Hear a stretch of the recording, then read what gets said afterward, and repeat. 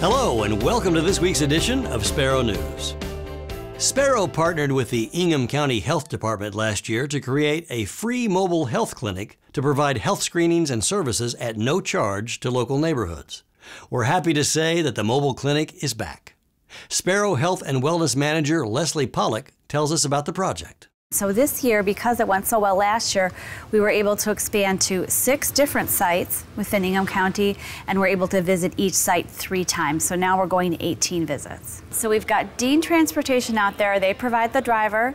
Um, the health department provides some medical assistance, lab techs, community health workers. Sparrow provides the attending physician, and we also have a nurse on staff for each clinic. Um, we are looking for nurses to help volunteer working um, those clinics for us. So if there are any interested nurses here within Sparrow, um, we would love to hear from them. The mobile clinic speaks to Sparrow's mission of improving the health of the people in our communities by providing quality, compassionate care to everyone, every time. Sparrow phlebotomist Julie Loynes is well aware that getting blood drawn is nobody's idea of a good time. One of her daily goals is to minimize the discomfort. Julie does her job so well that she's this month's Caregiver Spotlight for caregivers who go above and beyond in providing patient care. Colleagues say that Julie has a natural ability to put anyone at ease and is an example of an outstanding Sparrow caregiver.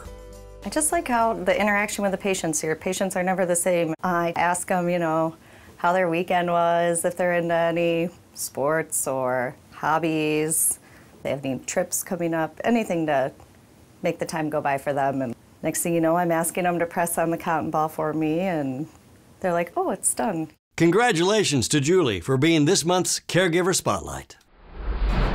Sparrow is proud to be a part of the Mid Michigan region. Be sure to check out this event coming up at Sparrow.